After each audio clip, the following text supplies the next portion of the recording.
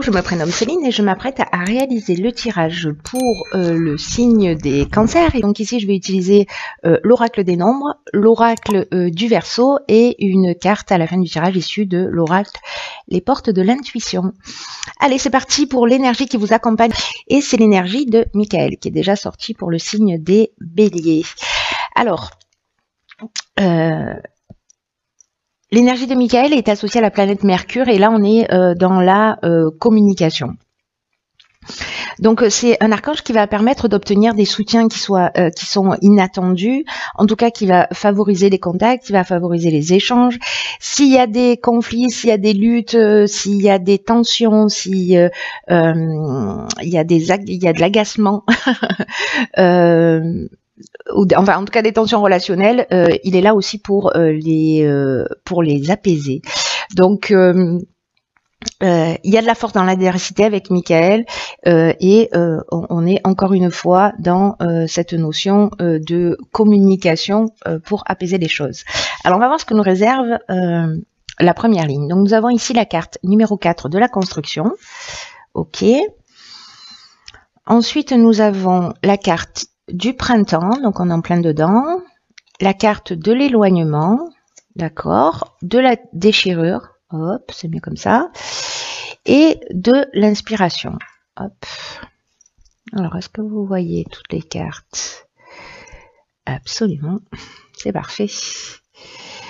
Euh, alors, L'énergie générale, c'est la construction. Alors, euh, la construction, ça nous, c'est une carte qui nous, euh, qui nous dit que c'est le moment de mettre en place en fait une stratégie euh, pour construire sa stabilité, pour construire son équilibre. Euh, le cadre, ça, ça, nous parle de choses assez concrètes hein, quand même, hein, de, de, de, construction, d'activité professionnelle, etc. Mais euh, aussi de stabilité et ça peut toucher euh, tous les domaines de son, de son existence. Mais là, on vous dit que cher cancer, c'est une période qui est propice à mettre en place une stratégie euh, pour euh, avancer euh, euh, vers vos objectifs, vers ce vers quoi vous aspirez. Je sais pas si c'est français, mais je, je, je, pense que vous comprenez le sens de ce que je suis en train de dire, j'espère. Euh, en tout cas, il y a quand même une notion de, de euh, si certains d'entre vous étaient dans une forme de laisser aller ou dans une forme de négligence ou dans une forme de procrastination, on arrête ça parce que tout est propice en ce moment à, avancer vers quelque chose de durable, de, de satisfaisant pour vous. Euh, donc là, ça va vous demander du travail, ça va vous demander de la persévérance, mais euh, vous serez fier de ce que vous avez accompli. Et là, j'ai l'impression que peut-être, euh, justement, vous allez avancer vers quelque chose qui vous tient à cœur. Et peut-être que vous allez... alors, soit de vous éloigner d'une situation, c'est-à-dire prendre du recul, prendre de la distance, mais moi j'ai l'impression que ça va un petit peu plus loin parce que avec la carte de de la déchirure, on peut être aussi juste, dans une rupture, pardon.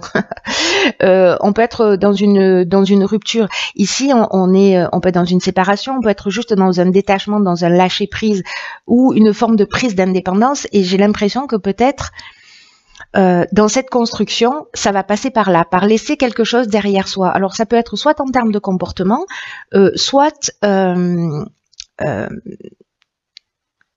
en termes de comportement, j'entends en termes de croyances, en termes de d'habitude de, fonctionnement, etc.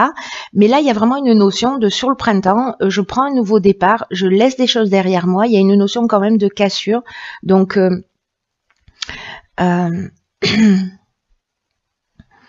quand même soyez euh, attentifs à la manière. Euh, voilà, j'ai l'impression que certains vont, vouloir laisser des choses derrière eux pour pouvoir avancer dans cette nouvelle construction, pour suivre leur, leur aspiration.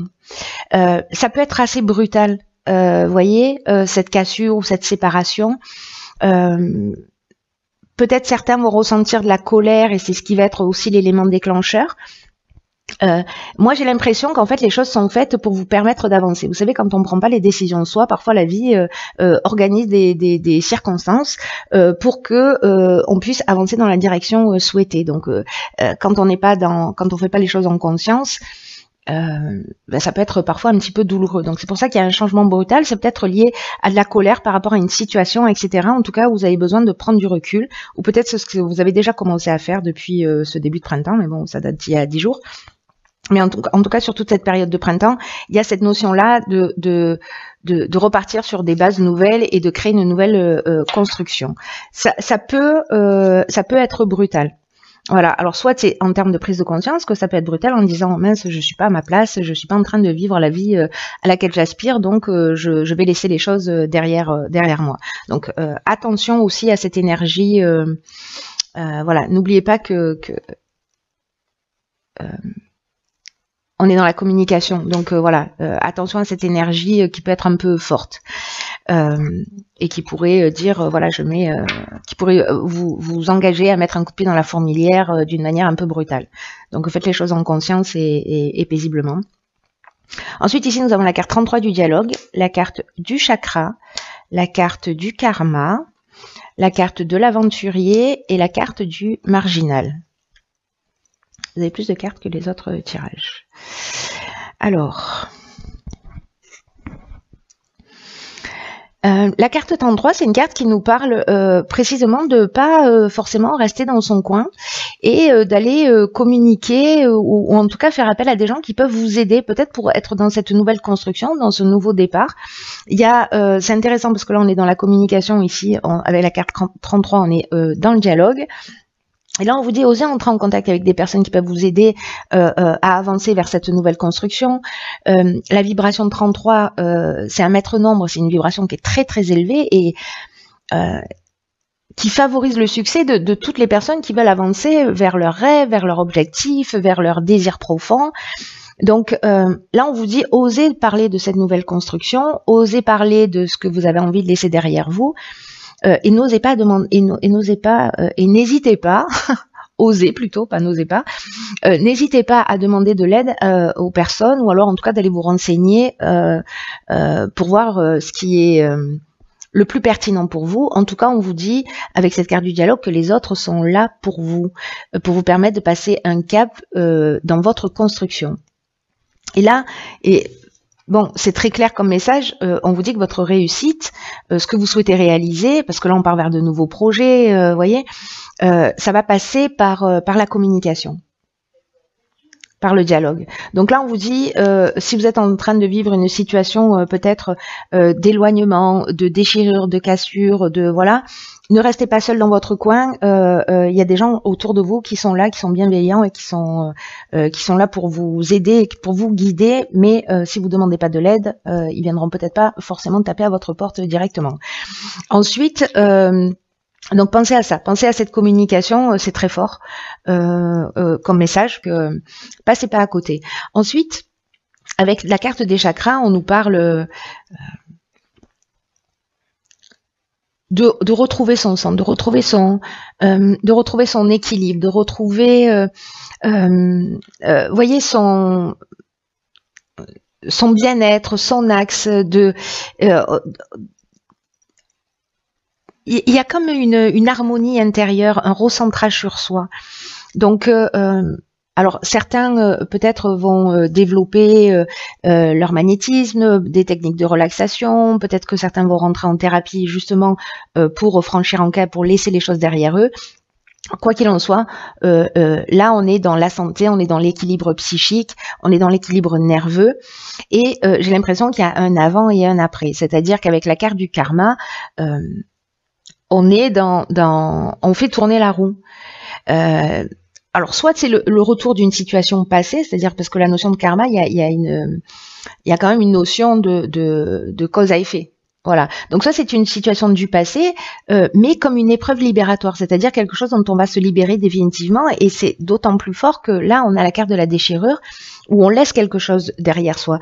Donc il y a une notion quand même de cycle de transformation qui est très forte. Il y aura peut-être euh, de la souffrance. Je pensais à cette colère là, euh, à cette cassure, à cette à cette séparation. Donc il y a peut-être une souffrance, mais sachez qu'elle est nécessaire et que il y a vraiment cette notion d'épreuve euh, libératoire, de je laisse quelque chose derrière moi euh, par rapport peut-être à une situation qui vous pesait. Ça peut être une croyance aussi, hein, un mode de fonctionnement particulier. Ensuite, euh, ici nous avons alors ces deux cartes ensemble, c'est juste magnifique parce que Là, on est, vous voyez, avec Uranus. Uranus, on est dans le bouleversement. Donc, il y a vraiment quelque chose de nouveau qui est en train de se passer. Euh, ici, avec la carte de l'aventurier, on est dans les expériences nouvelles, on est dans l'exploration des, de, nouveaux horizons. Il y a une notion euh, de euh, je vais prendre des risques, je vais aller vers mes objectifs. On est dans, dans, la conquête, on est aussi dans le dépassement de soi. Et avec le marginal, il y a, il y a un côté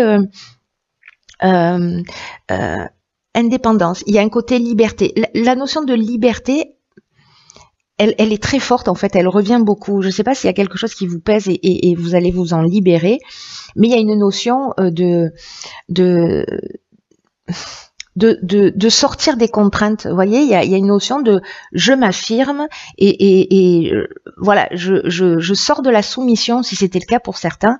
Je vais vers de nouveaux horizons, de, vers de nouveaux horizons et il y a quelque chose de très fort qui va vous faire un bien fou. Et en plus, vous êtes accompagné pour pouvoir le faire. Donc là, il y a vraiment un élan vers l'avant euh, qui, est, assez puissant. N'oubliez pas la communication, c'est le maître mot. Hein. Waouh. Alors, nous avons ici la carte numéro 12. Je vais faire le ménage parce que c'est visuellement pas très... Euh, qui est la carte de la réflexion, accompagnée de la carte ok, du conflit, de l'homme, de l'ascension et euh, de la femme. Ok. Alors, je vois directement euh, plusieurs euh, interprétations possibles à, euh, à, cette ligne. Donc, soit on est toujours dans cette énergie de colère là que j'ai vue tout à l'heure, et donc il y a une notion de conflit. Soit là, il y a, il y a plutôt pas, il y a ici, dans ce recentrage, dans ce rééquilibrage psychique, pardon, euh, une notion de s'il y a une dualité interne, de, rééquilibrer son féminin et son masculin. Euh, et c'est cette euh, il y a peut-être une prise de conscience qui sera liée à ça. Alors, soit c'est avec d'une manière très quatrième dimension, très ancré. Euh, vous êtes en conflit, euh, voilà, c'est euh, avec un homme ou avec une femme, ça dépend, voilà. Il y a peut-être quelqu'un qui est en opposition, peut-être avec votre envie de nouveau départ, avec cette nouvelle énergie que vous êtes en train de créer. et là, en tout cas, on vous demande de, de bien réfléchir aux conséquences de vos actes parce que euh, vous pourriez avoir affaire à une forme de, désillusion. Là, c'est comme si on vous disait maintenant, c'est le moment aussi de prendre le temps de la réflexion pour savoir si vous prenez le bon chemin, pour savoir si vous êtes euh, euh, dans le chemin qui vous convient profondément. Et là, en fait, il faut prendre conscience que qu'on peut en fait modifier. Vous voyez, on a un objectif et on peut rectifier la trajectoire en permanence que rien n'est figé, qu'il n'est jamais trop tard pour se rendre compte, même si on s'est engagé dans une situation et finalement on se rend compte qu'elle nous convient pas tant que ça. Euh, il est jamais trop tard pour faire marche arrière, pour faire marche arrière, en tout cas, euh, de faire en sorte de ne pas avoir de regrets. Voilà, pour être en conformité avec qui on est et retrouver cet équilibre psychique, euh, nerveux, voilà, si ça crée des tensions. Alors, comme je le disais, ce conflit peut être soit avec quelqu'un, avec la carte de l'ascension, euh, euh, moi j'ai l'impression qu'on va trouver des solutions. C'est-à-dire que peut-être avec cette période de réflexion, euh, vous allez faire le point et vous allez réussir à communiquer d'une manière claire sur ce qui vous convient, sur ce qui vous convient pas, etc. Et, et on avance et on évolue.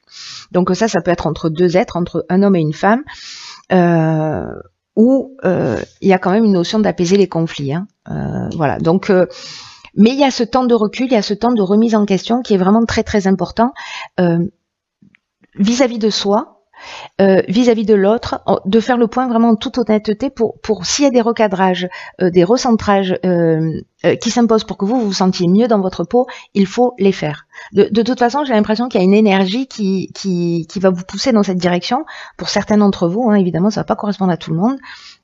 Mais voilà, alors ça peut être dans le domaine professionnel, ça peut être dans le domaine sentimental, peu importe.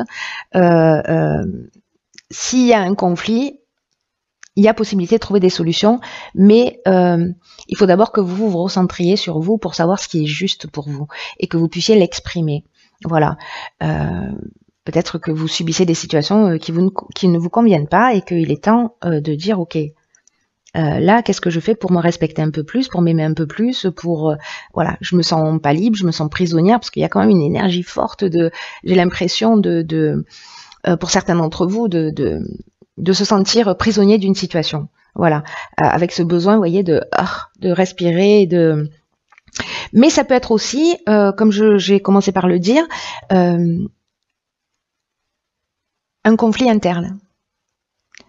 Et là, c'est juste incroyable parce que euh, l'équilibre entre, le yin et le yang, euh, entre sa partie féminine et sa partie masculine, euh, d'être dans cet équilibre parfait, là on est aussi, avec la carte de l'ascension, on est dans quelque chose de très spirituel, on est, on est dans une évolution,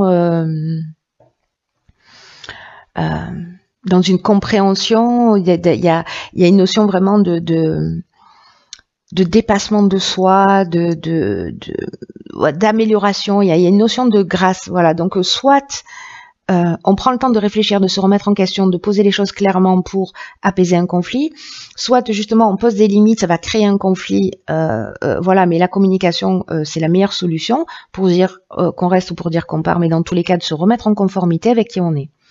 Voilà. C'est très intéressant. Il y a, beaucoup de, enfin il y a beaucoup. Euh, il y a euh, plusieurs interprétations possibles à ce tirage, donc je suis curieuse de savoir comment ça résonne pour vous. Ensuite, euh, nous avons ici le ressenti. Ce que vous ressentez profondément et imaginez clairement a tendance à prendre racine en vous. Ok.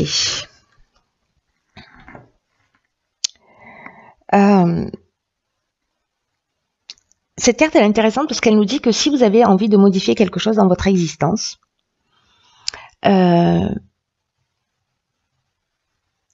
il va falloir euh, euh, faire confiance à votre ressenti.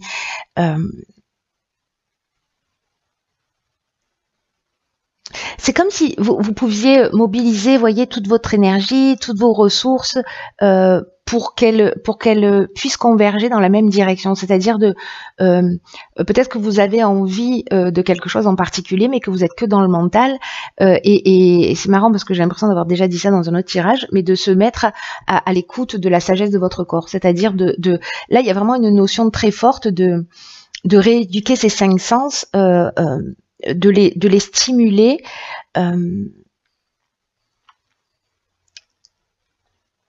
pour passer, vous voyez, c'est un peu comme avoir dans le mental, euh, quand on est que dans le mental, voilà, c'est un peu comme si on, on, euh, on imaginait sa vie sans la vivre. Voilà, c'est-à-dire on rêvait un peu sa vie. Voilà, c'est ça. Euh, donc il y a quelque chose qui devient un peu illusoire. Euh, euh, alors que quand on est dans le ressenti, on euh, il y a vraiment quelque chose de fort qui s'inscrit dans la matière et c'est l'association de ce qui se passe dans votre esprit, de vos, de vos envies, etc., plus le fait de les ressentir, c'est-à-dire que si vous vous dites je veux je veux aller dans ce projet, vous, vous y réfléchissez, mais vous êtes que dans le mental. Si vous commencez à le ressentir à travers vos sens, le bien-être que ça procure d'aller dans cette direction, si vous commencez à ressentir que euh, euh, euh, peut-être quand vous pensez à une situation, à un couple, etc., vous vous sentez oppressé, etc. Tout, ça, c'est, c'est ce sont des indications que vous donne votre corps, c'est-à-dire de sortir du mental et de vous mettre à l'écoute de cette sagesse-là, de réinitialiser, pas de réinitialiser, mais de rééduquer tous vos sens pour en faire des alliés, des alliés de votre intuition d'une certaine manière. Parce que euh, tout ce que vous ressentez, ça, s'ancre dans la réalité. Donc, euh, euh voyez, de pouvoir réajuster en permanence, c'est juste incroyable. En se disant, oula, là, je sens qu'il y a quelque chose qui, qui, coince. Hop, je me recentre, je remets les choses dans l'ordre. J'utilise le, le, le, dialogue pour me faire respecter, pour euh, voilà, pour, pour, pour répondre à mes besoins fondamentaux, euh, quels qu'ils soient, euh, de besoins d'appartenance, de valorisation, etc. mais être dans ce, dans ce, dans ce ressenti, faire appel à la sagesse de, de, de votre corps parce que il vous en dit beaucoup. Voilà, c'est comme si là on vous disait votre intuition, plus la sagesse de votre corps, et c'est intéressant parce qu'avec le côté féminin et le côté masculin, dans cet équilibre-là, euh, vous voyez, on est on est dans le dans, dans, dans, le, dans, le, dans le ciel, on est ancré, relié. Et là, c'est, moi, j'ai l'impression que, que c'est, un peu ce qui se propose à vous. Donc, euh, il y a quelque chose de très fort, il y a quelque chose de très spirituel. Il y a, y a une notion de, de, de d'ancrer la matière et de spiritualiser, euh, euh, pas d'ancrer la matière, de, de, de, spiritualiser la matière et de, et de matérialiser aussi la spiritualité dans sa vie. Donc, c'est c'est l'équilibre des deux qui va vous permettre d'être dans une dans une co-création de, votre réalité. Je ne sais pas si, je suis très claire. Je pense qu'il y en a pour certains, euh, ce que je suis en train de dire va résonner vraiment très très fort. Et pour d'autres, euh, ça va pas du tout parler. J'en ai vraiment conscience.